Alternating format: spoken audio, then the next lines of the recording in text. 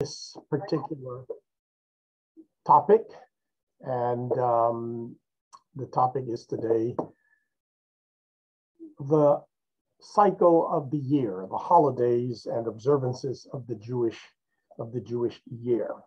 Let me just uh, begin uh, by uh, by posing a question. Is there any um, oh, too many te technical details here?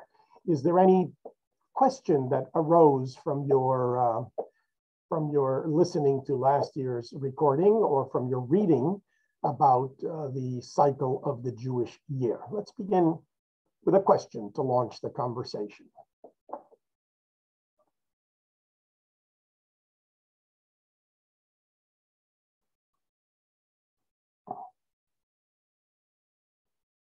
Of course, you first need to unmute yourself if you have a question. no questions? I presume it's all perfectly clear, so we uh, don't need to proceed. Um, Hi, Jane. I've read I've read a couple different books, and you know this this gets covered in almost every Judaism class I've taken so far. Um, but one thing one thing that's still kind of a mystery to me is how the extra month of Adar works. I know we have one coming up, so. okay. Yeah. That's a good question because it launches a conversation into the Jewish calendar, and we have uh, at least one of the handouts that you can access in our website is dedicated uh, to that explanation. And it's not as complicated as it might um, sound. It's actually quite simple. Um, think of the calendar that we use for our uh, civil and secular lives. It has 12 months, and uh, the months are either 30 or 31 days, with the exception of February, which is 28 days, and in a leap year, every four years, is 29 days.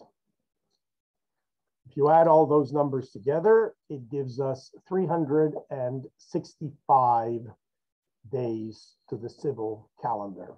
365 and a quarter would be the perfect uh, answer. And that's why we have to adjust it every four years with the extra February, right? The Jewish calendar operates on a different basis. The civil calendar that we use is a solar calendar. That is, the months are determined uh, by 12 uh, circumlocutions of uh, circumambulations of the earth uh, around the sun. That is 365 of those and then and then divided. So the, the structure of the calendar is predicated on a solar earth relationship.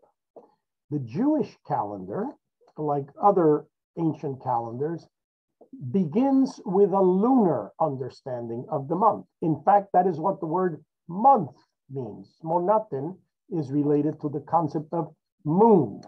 So in the Jewish calendar, as well as in the Muslim calendar, a month is the time that it takes for the moon to complete a cycle around the earth.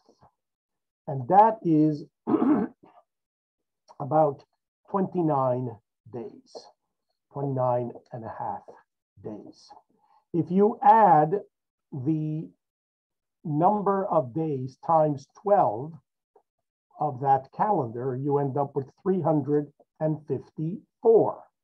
A lunar year is 354 days long.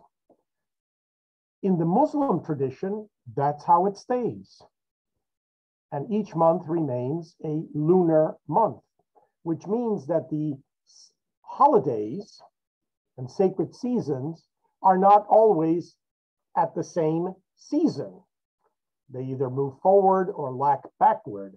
That's why in the Muslim calendar, for example, Ramadan, which is their sacred fast season uh, of a month, can be in the spring, can be in the fall, can be in the summer, can be in the winter, as the cycles rotate. The Jewish calendar did not allow for that because biblically, the major festivals of the year are described as seasonal holidays. So you have to have Passover in the spring, and you have to have Sukkot in the fall. They are described as holy days of that season. Hence, in the Jewish tradition, we have an adjustment of the lunar calendar to the solar calendar. And that is done by means of that leap month. So in the civil calendar, you add a day to the calendar when you have a leap year every four years. In the Jewish calendar, you add a month to the calendar every so often, and the so often is seven times in 19 years, which means that every third year or so, approximately, you have a leap year. Leap year means one extra month. That month is designated as second Adar or Adar. So it's an extra month of Adar, which comes right before the beginning of the spring cycle, right? And uh, launches then, uh, uh, launches us forward uh, into a new year. This, this year, you will notice that many of the holidays uh, are a little bit early. Hence, for example, Hanukkah. When is Hanukkah this year? November 28th is the first day of Hanukkah, like right on top of Thanksgiving. Why? Because we have been lagging. Then this coming year, we're going to move it forward because we're going to have a leap year. And the next year, it'll be pushed back. what this allows is always to keep the major festivals in their due season. Otherwise, we would be totally out of season. It can be a little bit earlier, a little bit later in the season, but it's always Passover is always a spring festival. Sukkot and the high holy days are always fall festivals. Those are the two important ones that are seasonal. And uh, Shavuot, which is uh, seven weeks after Passover, and that's what the word Shavuot means, weeks, the festival of weeks, uh, remains then connected generally to the summer. And uh, that is our cycle. So the current Jewish calendrical system, which was finalized and established in the early centuries of the Common Era, around the fourth century, by a astronomer, rabbi, sage called Hillel II, not the famous Hillel of the first century before the Common Era. So the system of the calendar that we observe um, is actually a very, very accurate system in terms of the way that the year moves. And it takes into account both the lunar and the solar um, uh, system so that we remain connected both to the cycles of the moon. A new, a new Jewish month always begins with the new moon, ends with the waning moon, and then begins again the new moon. So the months are lunar, and that's what the word month means. And in Hebrew, the word for a month is chodesh, which comes from the root chadash, which means new, as in new moon. Chodesh, from the root chadash, means new, the new moon. So the Jewish calendar ends up in the full cycle of 19 years having a perfect synchronicity with uh, the um, not only with the civil calendar, but more accurate than, than the cycle of the civil calendar, which is, you know, uh, every year lagging a little bit.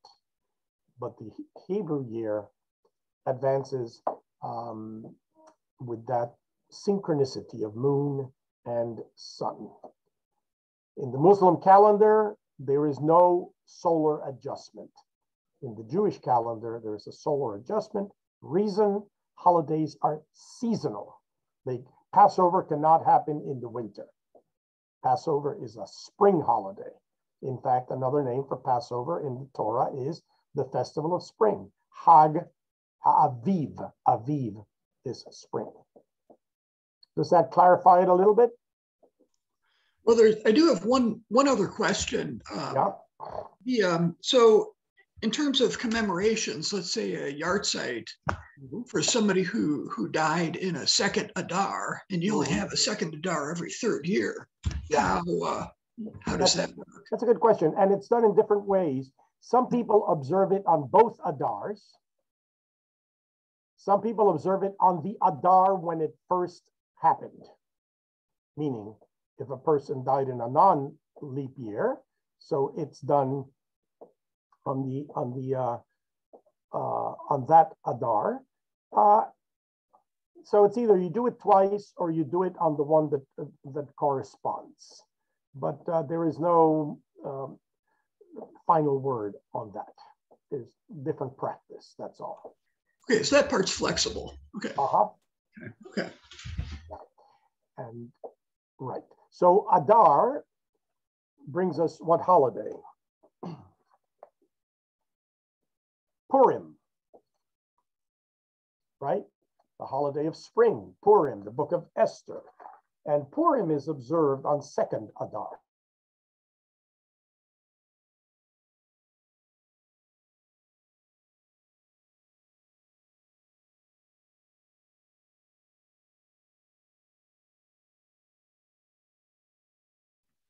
there's a grid of the holidays in the in the in the handouts that you could look at it, um, and you can see the seasonal divisions of the of the holidays as they unfold. And uh, there you will get a little bit of a sense of how the Jewish calendar flows. Now, holidays and seasons are very, here, this is the grid that I'm referring to. You have it in your in your handouts. We're not going to look at that now. You can take a look at that um, and um, it'll give you the explanation. What is the most important Jewish holiday or, or sacred day? Yom Kippur. Okay. Shabbat. Shabbat. Shabbat. It's actually Shabbat. And Yom Kippur is kind of a supreme Shabbat. It is referred to as Shabbat Shabbaton a Sabbath of Sabbaths, even when it doesn't occur on Shabbat. Right? The word Shabbat biblically means a pause, a sacred pause. And what is the first reference to Shabbat? Of course, God's completion, or I hate to use the word completion because according to Jewish rabbinic interpretation, the word is not the world is not completed. It's still in the process of creation, and we are co creators with God. But on the sixth day, God, big picture, the blueprint was there. And according to the biblical narrative in the first chapter of Genesis, moving into the second chapter, God contemplated the seven, the six stages of creation and uh, decided that it was time to Shabbat, take a break. And that's what the word Shabbat means, to pause. In the Jewish tradition, this day is elevated to supreme importance. It is the first thing that is declared holy in the biblical tradition. Okay?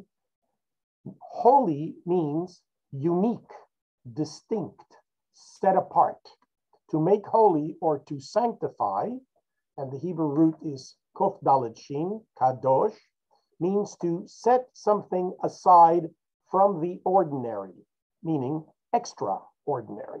So all the days of the week are ordinary days. Shabbat is an extraordinary days. All the uh, months and weeks of the year are ordinary time. Sacred seasons, festivals, Pesach, are extraordinary times. We have relationships with people on a day to day basis, those are ordinary relationships. Entering into a committed relationship of marriage is a sacred partnership.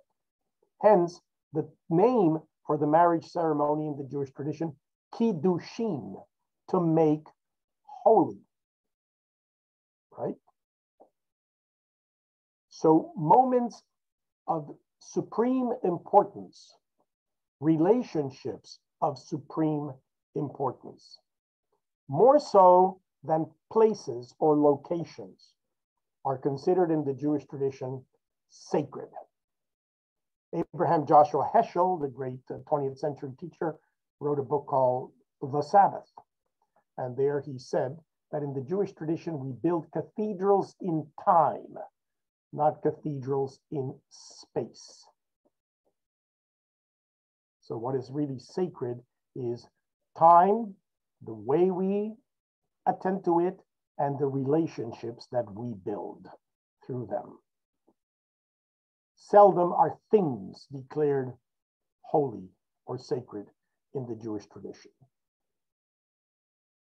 Although there is sacrality or sacredness that is applied to certain places as well. Okay, an important concept to, to keep in mind. Sacred means unique, distinct, set aside, as opposed to ordinary. It marks the extraordinary dimension of time, but yet an experienced one.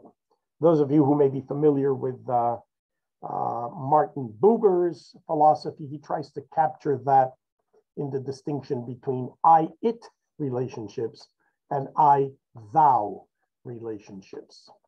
In an I thou relationship, there is a, an elevation of the relationship from a utilitarian relationship, which is what we engage in on a day to day basis. Right now, we're engaging in a utilitarian relationship despite the importance of the subject, meaning we have a subject matter, I am talking about it, you are listening to me, you're asking me questions. It is transactional relationship.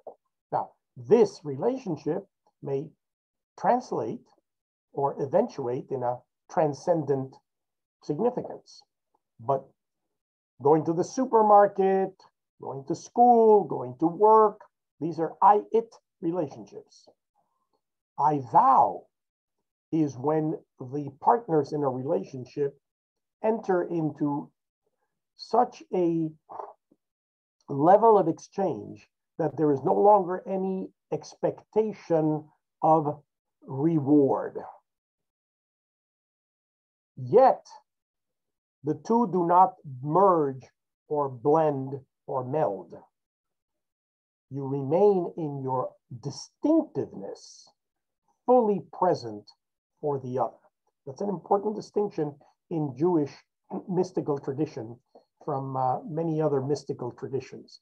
Uh, mystical traditions generally seems to speak about a, a blending, uh, a, a, separation of boundaries, a, uh, uh, you know, everything becomes indistinguishable and mushed. The Jewish tradition, sacredness entails respect for the distinctiveness of the other and the uniqueness. And it is in that infinite respect that we attain sacredness. I always find that a very in, interesting characteristic of, of the Jewish understanding of relationship. Yes, any other? So we have Shabbat as the supreme holy day. It occurs 52 times a week, right? Uh, in, a, in a full uh, solar calendar. Um, it is not tied to, it is and it isn't. Most of, many of the holidays are tied to historical moments as well. Shabbat is cosmic. It is the creation of the world. We are supposed to rest in emulation of God's resting and taking a pause. So the pause between the notes, as a good musician would tell you, uh, a good composition is not just those black little notes, but the pauses in between. Those spaces are part of the art of the music. If you just had notes, you wouldn't have music, you would have noise. However, as uh, the biblical tradition unfolds, the experience of the Exodus, of redemption of the Israelites from Egypt, is connected with the Sabbath experience. And in the Ten Commandments, occur in the book of Exodus and in the book of Deuteronomy, Exodus 20, Deuteronomy 5, two different reasons are given for the observance of the Sabbath. In the book of Exodus, it's creation. Six days of creation, seven day pause. In the book of Deuteronomy, however, reflecting on the experience of Israel, the reason that it's associated with the Shabbat is not cosmic, but socio moral. You shall rest, and and all in your household shall rest. Even your servants shall rest. Why? Because you were a slave in the land of Egypt, and you know the heart of the slave, of the stranger. Everybody deserves a break. Everybody needs time to themselves because time is what makes us, what helps to make us fully who we are. So time is sanctified in the book of Deuteronomy in relationship with the remembrance of the exodus from bondage. So the experience of Shabbat now is elevated to a social, moral dimension. And when we recite the Kiddush, when we raise the Kiddush cup on Shabbat to sanctify the day, we invoke both reasons. And we say that Shabbat is Kihu Yom Tehila Lemikrae Kodesh, for this is the first of the days sanctified from the very beginning of creation, and also Zecher Litziat Mitzrayim, a remembrance to us of our redemption from bondage. From the word Mitzrayim in Hebrew, which means Egypt, comes from the root which means the narrows. You are redeemed from the narrows, from the constraints, constraints. And that term is then associated with the experience of enslavement. Enslavement is constraint, inability to move physically at will or to make your own decisions, to be bound by, by others physically, spiritually, emotionally. That's enslavement. So that's Shabbat. And we celebrate Shabbat by pausing, by prayer, by study, by fellowship, um, and uh, by taking note of, I think, essentially the meaning of time. Shabbat is, is a, a moment to contemplate the meaning of the moment, the meaning of time. And then we have other holidays in the year.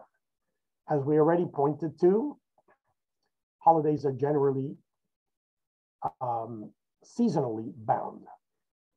After Shabbat, in the calendar of observance today, the two most distinctive uh, days in the Jewish calendar would be Yom Kippur, which is the Sabbath of Sabbaths, and the 10 days that come before Yom Kippur, which we refer to as Rosh Hashanah, the beginning of the year. But if you look at the Torah, you will not find that name for the holiday. Rosh Hashanah is designated Rosh Hashanah post-biblically. In the Torah, Rosh Hashanah is simply referred to as a day of remembrance, a day of the blowing of the shofar, and it is also referred to as the first day of the seventh month.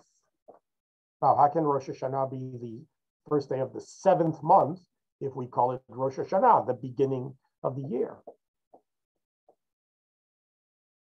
Any ideas about that? How come it's the beginning of the year if it's the first day of the seventh month? Because there's more than one New Year's in the Jewish calendar?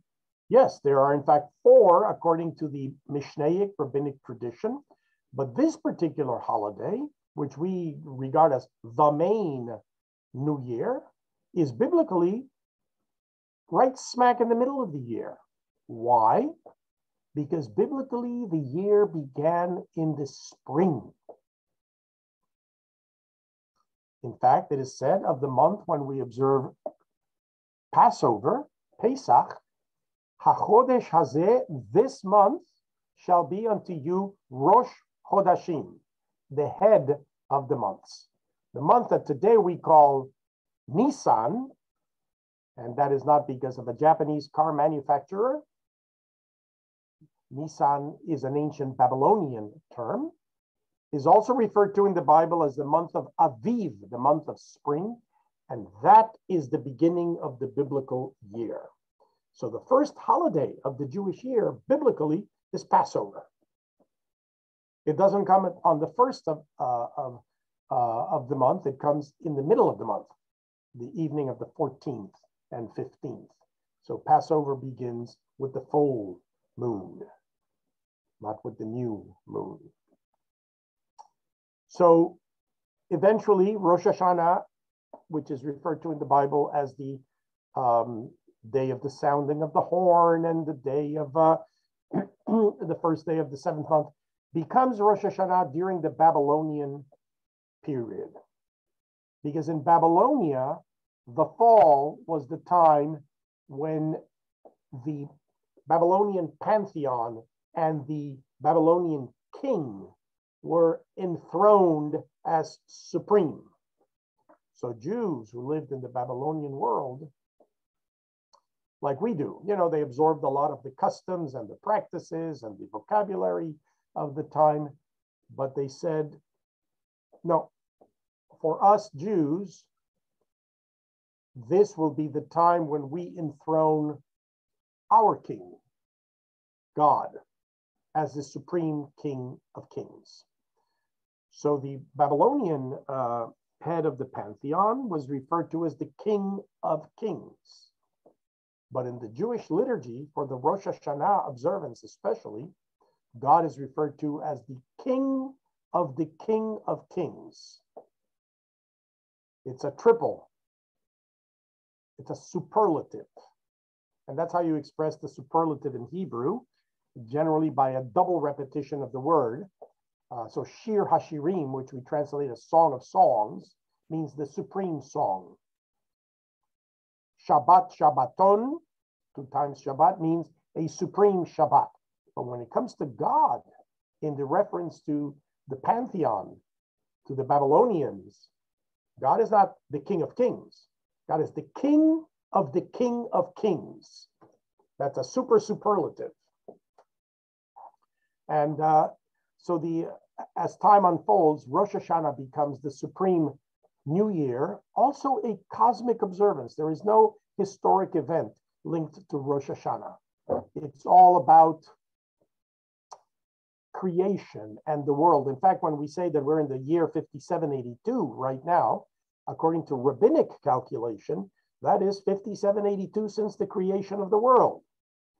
Carl Sagan would object to that, and modern science, we would all agree, would teach us differently. But in the rabbinic imagination, that is um, when it all began. And even if we don't agree that that's astronomically and uh, cosmologically when the world began, 6,000 years ago, is about the time of the birth of consciousness of civilization. In Mesopotamia, in Egypt, this is when writing begins to develop eh, and, and becomes more accessible. So it might not be the dawn of the physical universe, but it is the dawn of consciousness, the dawn of history, the dawn of self reflection. And that is what the season becomes. It becomes a season of self-reflection, which then leads to Yom Kippur, 10 days after. And Yom Kippur is referred to in the Bible uh, by that term, Yom HaKippurim, a day of atonement, a day of um, uh, which leads in the Jewish tradition to a personal renewal of self. So it's observed by fasting, by abstentions, by, uh, by focusing inward.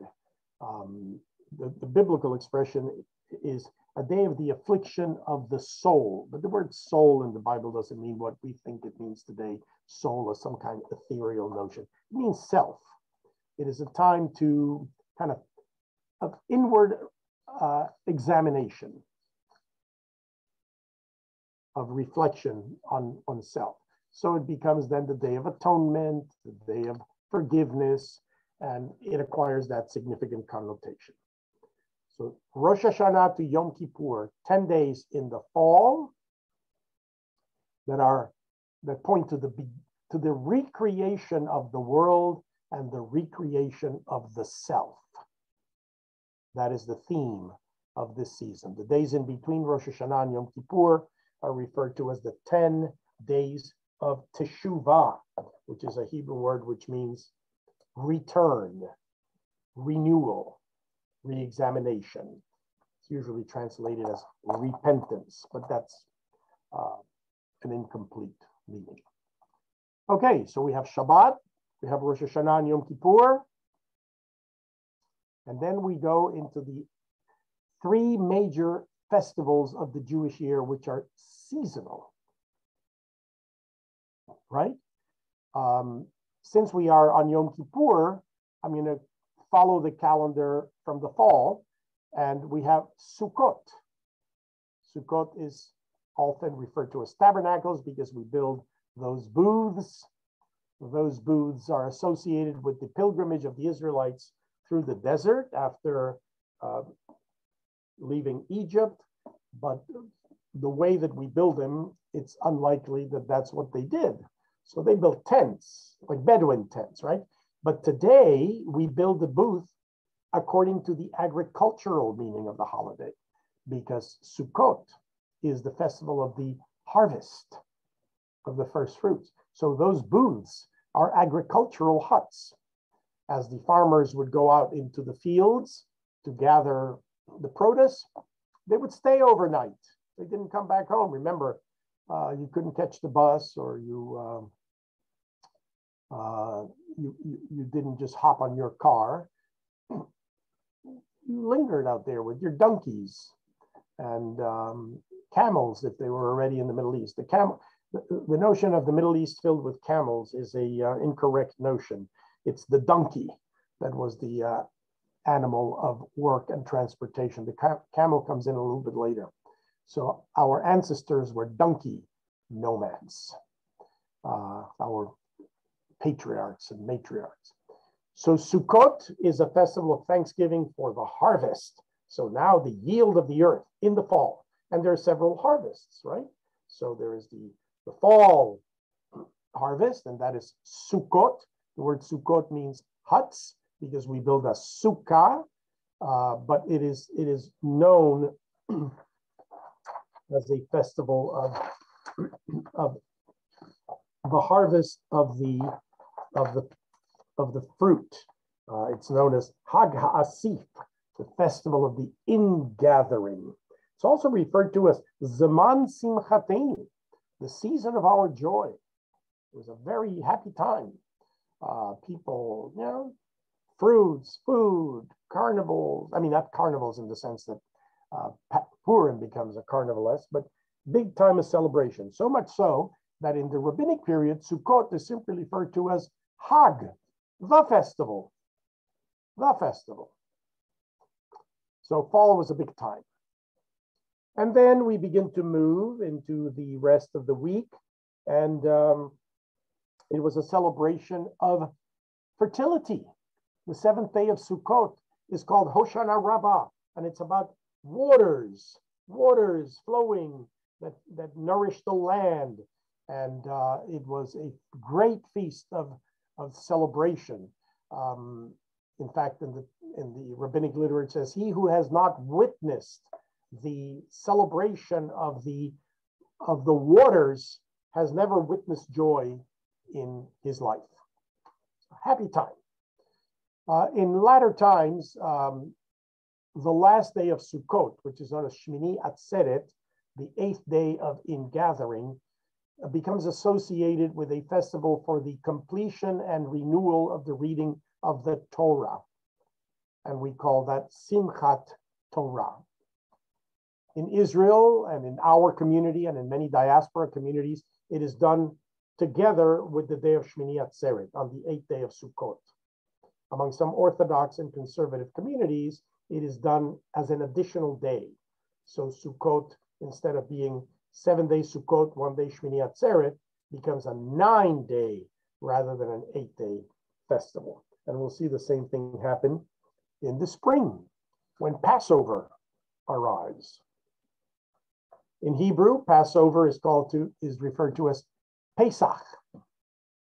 Interesting word of uh, com- not completely certain meaning, but it's associated with the with the reference in the book of Exodus that the angel of God passed over the homes of the Israelites and spared them from the sufferings that were inflicted upon the Egyptians, right? Especially on the last night before the Israelites left Egypt.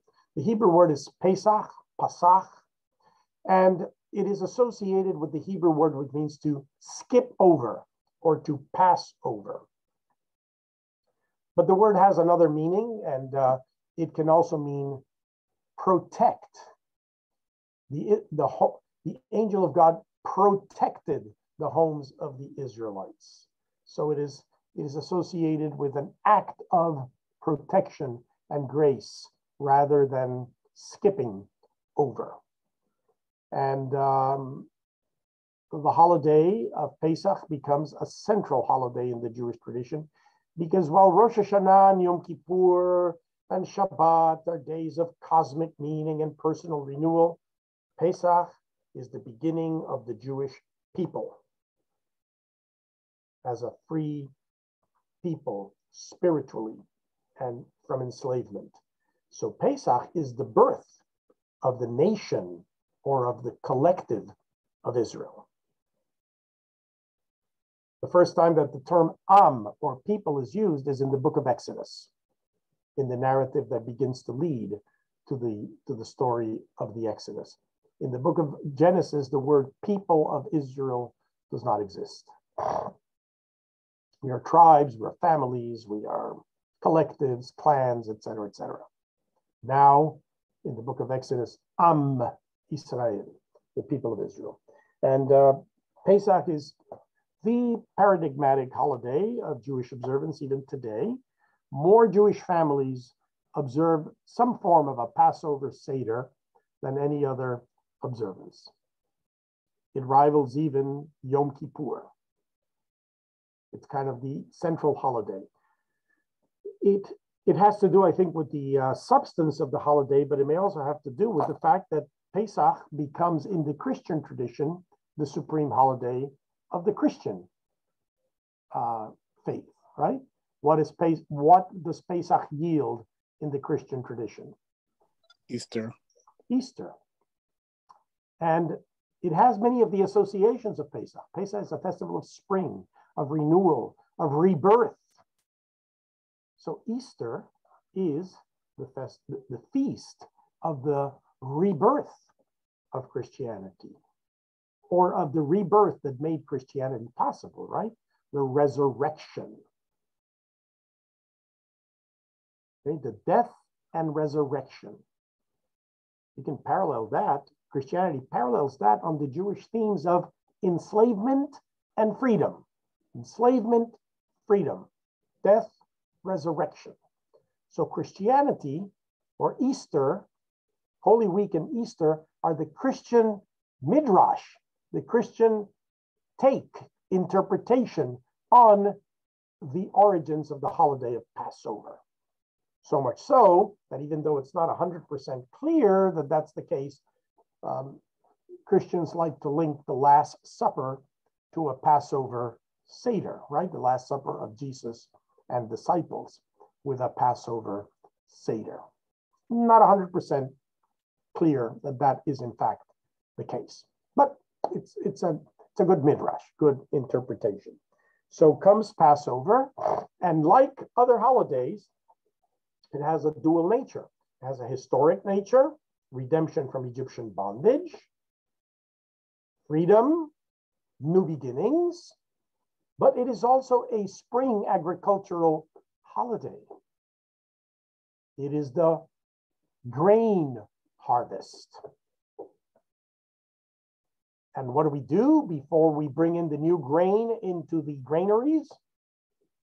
We clean up the old grain, we take it out, clean it up.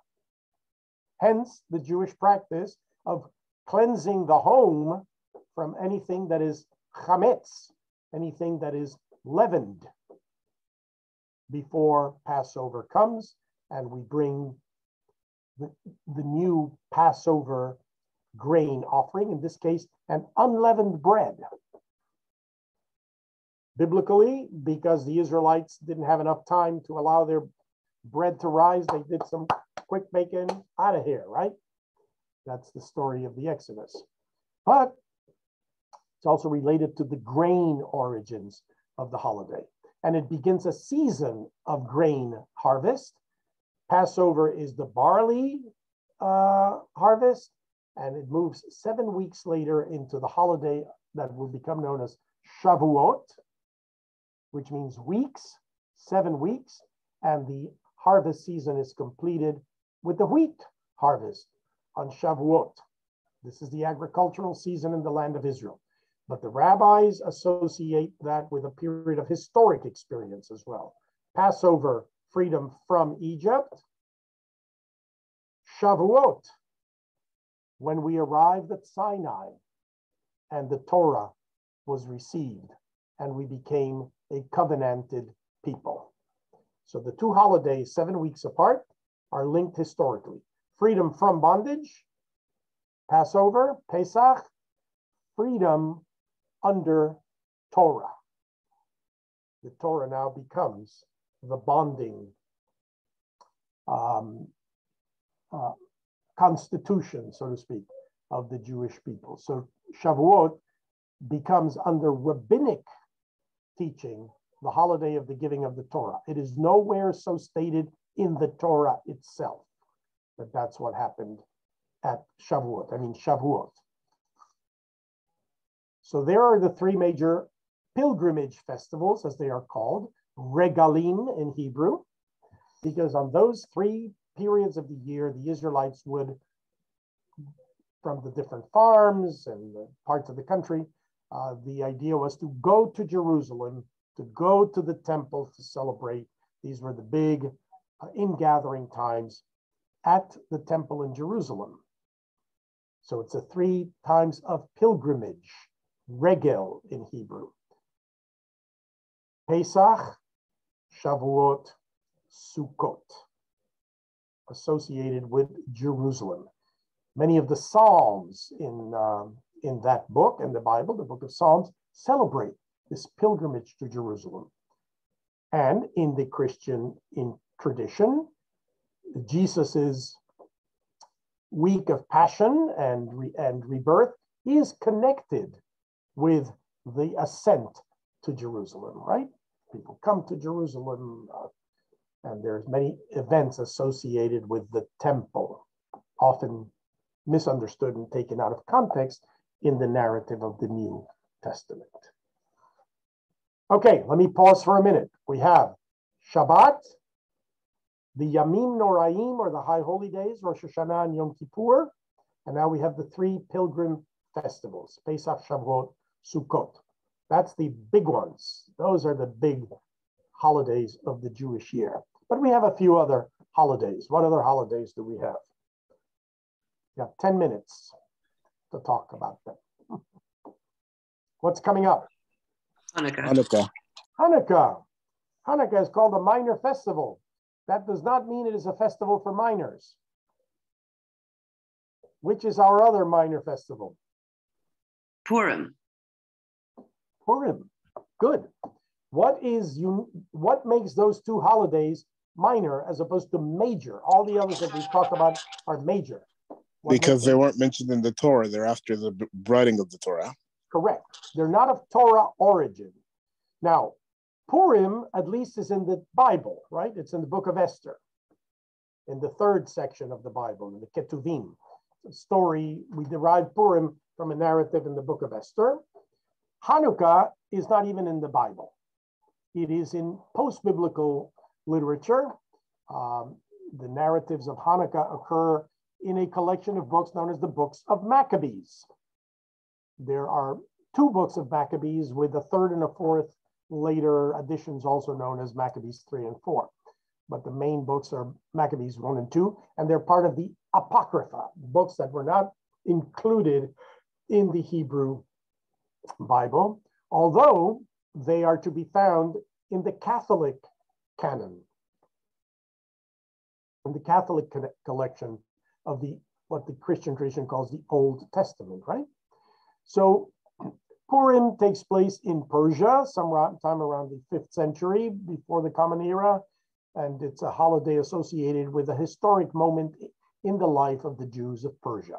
Whether fully historic or primarily legendary and anecdotal, uh, doesn't matter, but the associations are with the fact that the Israelites in the city of Shushan, the capital of Persia, are spared decimation, and the heroine is a young woman by the name of Esther.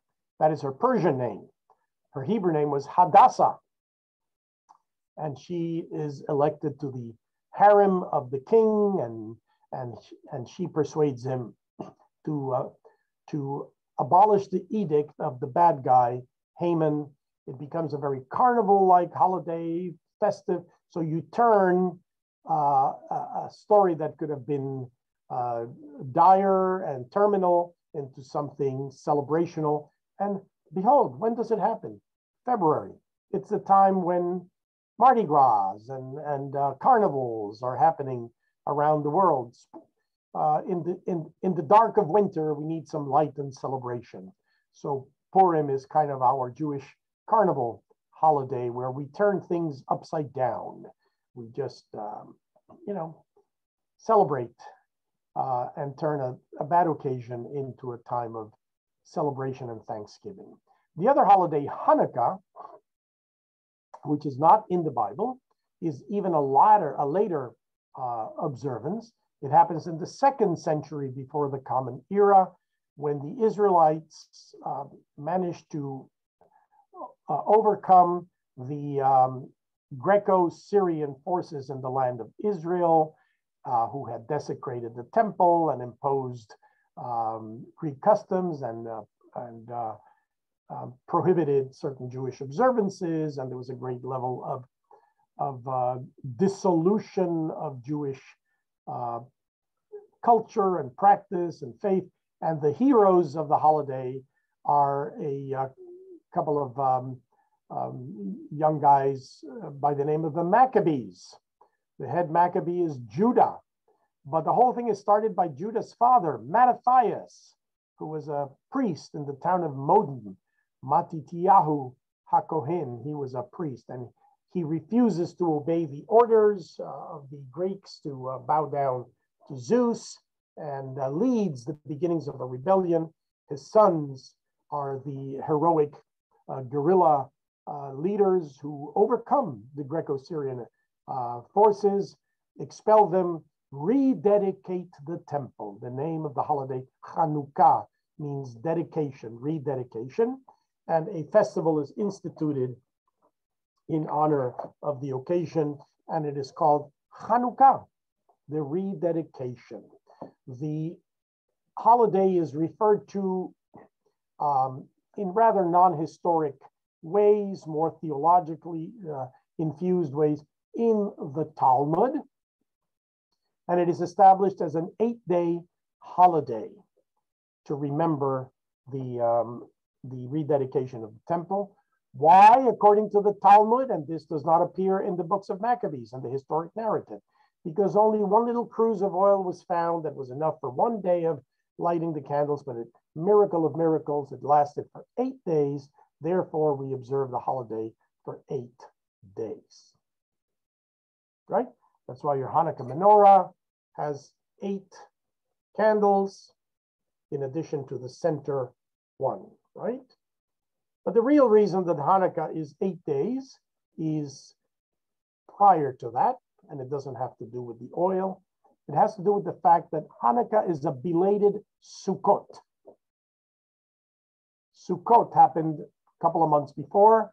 The Israelites were not able to celebrate it in the temple at that time because the temple was under, um, uh, or at least these this group of of um, uh, dedicated uh, Israelites were not able to celebrate it in the temple. So now they rededicate the temple with a celebration of a belated Sukkot. And if you read the in the book of Maccabees how the event took place, they did it with palm trees and the chanting of the prayers of Sukkot, the Hallel. So essentially, Hanukkah, belated Sukkot, hence eight days. And then interestingly, we find that King Solomon had dedicated the first temple during the holiday of Sukkot. So Sukkot becomes associated with the dedication of the temple. So that's the mystery behind Hanukkah. So Hanukkah is a very popular Jewish holiday. Aside from Passover, the other major observed holiday provides a Jewish antidote to Christmas. You know, um, seasonal winter holiday. It's a little bit ahead of, of Christmas this year. It's more connected to Thanksgiving, which is interesting because Thanksgiving itself is an American expression of Sukkot, the festival of Thanksgiving. When the pilgrims established uh, Thanksgiving, and the historic reasons are um, uh, very muddled, um, but uh, what we do know is that they declared a a festival of ingathering and thanksgiving for the harvest, like the biblical festival. So they're all connected in one another. Um, I want to wish you all a happy Hanukkah. The first candle is set for the lighting. Remember, your shamash is in the middle. And when you, I don't know how you are seeing this menorah. Where is my first candle? Is it to your right or to your left? To our left. To my left. And we have to turn it. The first candle should be to your right. You begin to light the Hanukkah candles. You first light the shamash, you say the blessing, and then you light the candle, first one. On the second night, you put two candles like this, from right to left. Right? From right to left. But you kindle it so you, you light the shamash, you say the blessings, and then you kindle the lights from left to right, meaning the new candle first. And then the third night you have one here, you kindle it third, second, first. So you kindle the new night first, but you situate them from right to left. So it's very simple. Situate them from right to left, light them from left to right, because you light the new candle first. But if you don't do it that way, it's okay too. Okay, I got to run, uh, but it's good to talk. We have one more session, uh, December something, whatever um, that Sunday is. And then the last session, we'll have a conversation on Jewish community structure, organization, and so forth. Um, those of you who are contemplating uh, or interested in conversion to Judaism, uh, will uh, Rabbi Jenny will pick up with you and uh, and move the process uh, forward. But I'll see you uh, whatever the next session is. When is it? Here you are, December 5th. Have a happy Thanksgiving. Have a happy Hanukkah and um, take care. Thank you. And don't forget the recordings are housed on our YouTube channel. They'll be up soon. Thank you. Bye. Thank you, Rabbi. Have a happy Hanukkah too. Happy Hanukkah. Well. Excellent.